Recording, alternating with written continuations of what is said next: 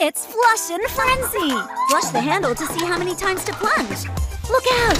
You pop the poop! Make the grab and get a token. Catch it in midair, and it's twice the points. The one with Wow. Just wow.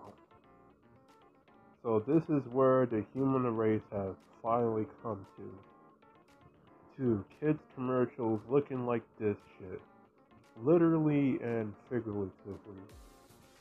Wow. And people call us YouTubers crap makers. So this is a new toy that has been been new. It's the, a few commercials that I've seen on actual TV.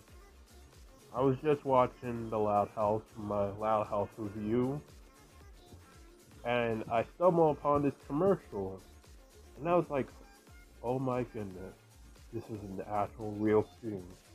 Actual human beings literally sat down in an office actual make something like this. Someone got paid to make something like this. There, there was someone who literally got paid cash and money to make something like this. There's like no serious way how I can explain it, but somebody actually got paid to make a toy like this. Someone got paid to make a commercial about this specific toy.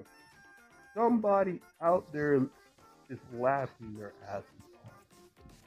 Like, toys these days aren't like what they used to back in the day. And I, I say that like a serious situation of like, wow, toys have really gotten to shit. Literally. Like,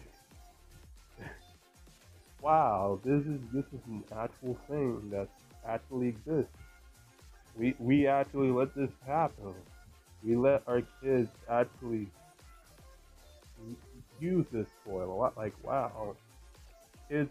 I guess that's a new trending thing. I guess kids love picking up shit.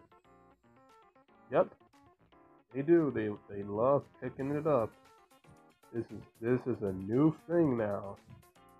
100% a new thing.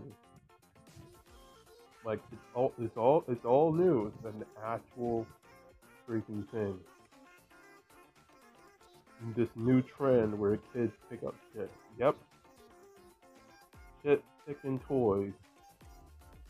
This is this is this is real.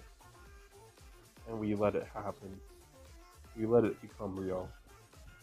I guess our kids are so used to watching shit that they literally want to play with it. God bless America.